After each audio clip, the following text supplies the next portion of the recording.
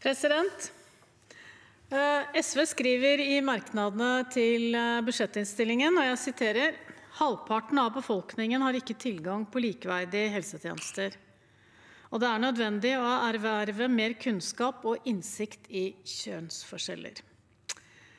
Jeg ser også på nettsidene i SVs Fra A til Å eh, alle punktene om kvinnehelse, bl.a. handlingsplan, mer forskning på kvinnesykdommer.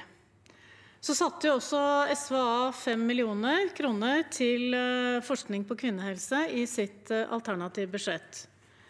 Men denne satsingen kom jo ikke med i budsjettforhandlingen med Arbeiderpartiet. Var ikke dette likevel viktig nok for SV? Budsjettenigheter er jo alltid også et kompromiss. Det er ikke nødvendigvis det man eh, hadde som første alternativ, men det var det man fikk til. Og så er jo SV også opptatt av at vi må både styrke forskningen på kvinnehelse, men et av de viktigste tiltakene også som vi gjorde i vårt alternative budsjett, var å styrke grunnbemanningen i sykehus og satse mer på de offentlige sykehusene.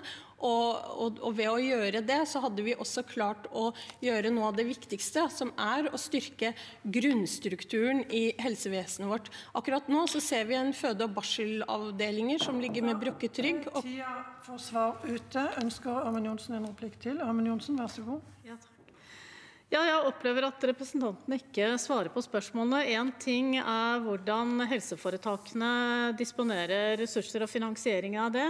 Det er jo Norske kvinners sanitetsforening og det er Endometrioseforeningen som i årevis har jobbet med å få fram et senter for eh, kvinnehelse. Det er altså frivillige organisasjoner som jobber med dette. Vi har eh, et senter for forskning. Det ligger på Oslo universitetssykehus. Men dette her er da et spesialisert for da denne type sykdommer, eh, dette senteret. Så det kom altså ikke med i budsjettforhandlingen. Kan dere svare på hvorfor ble det prioritert ned? Hussein? President, Jeg husker også åtte år da Høyre faktisk var de som styrte landet. Solberg-regjeringen lot eh, et eh, sykehus eh, med brukket rygg bak seg. De ga oss et barselopprør fra nord til sør. Og fortsatt så må vi rydde opp etter den regjeringen.